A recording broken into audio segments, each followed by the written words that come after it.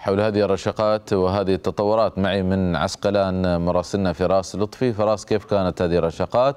وبالنسبة للبلدات المحيطة بغلاف غزة.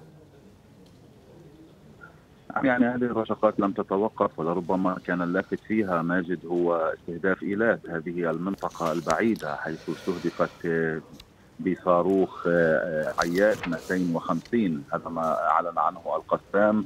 وأكد الجانب الإسرائيلي سقوط هذا الصاروخ في منطقة مفتوحه ولكن كما ذكرنا هذه المنطقة كانت تعد ملجأ للفارين من نيران الحرب في بلده غلاف قطاع غزة إلى منطقة إيلات ولربما الأثر المعنوي في ذلك هو أكبر من الأثر المادي حيث دوت صافرات الإنذار هناك و وكأن صافرات الإنذار تلاحق هؤلاء من مكان إلى آخر.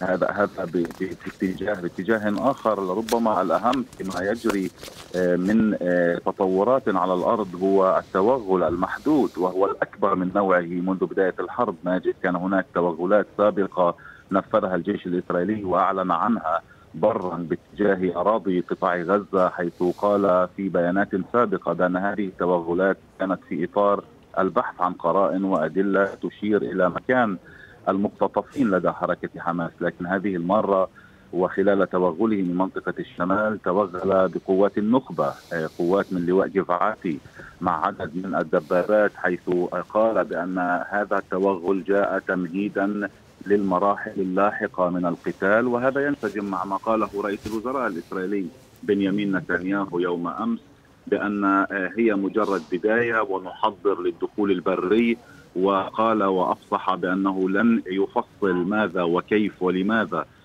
سيكون يعني هذه الدخول هذا الدخول البري ولن ولن يفصل كما قال الاعتبارات التي تأخذها إسرائيل بعين الاعتبار اتجاه تنفيذ هذه العملية البرية والتي قال بأن أغلب الناس لا يعرفونها قال أيضا بنيامين نتنياهو يعني أن هذه الحرب مستمرة في ملاحقة حماس وترسانتها العسكرية وقياداتها فوق الأرض وتحت الأرض وخارج البلاد.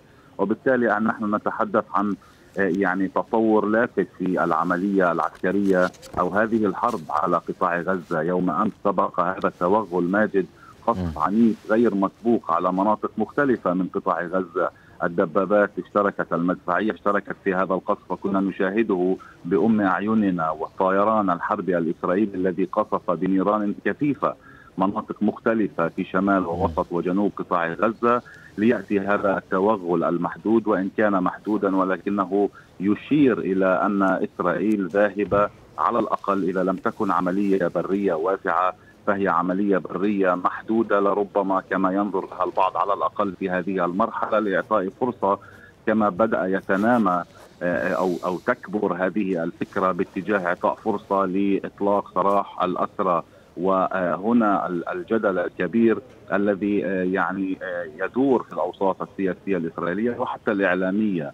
إذا ما كان هذا التوجه هو لإطلاق سراح جميع الأسرى أم أن التوجه نحو إطلاق الأسرى مزدوجي الجنسيه، هناك من لا يميل إلى هذه الفكرة ويقول بأن إذا ما أطلق سراح من يحملون الجنسية الأجنبية فقد يصعب ذلك على إسرائيل إطلاق سراح الإسرائيليين خاصة من الجنود.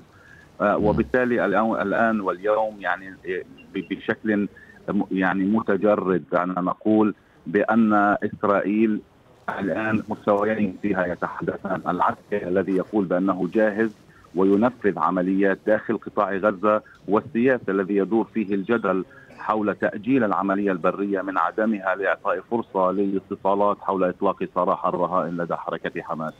من عسقلان عبر الهاتف مراسلنا فراس لطفي كان معي شكرا لك فراس.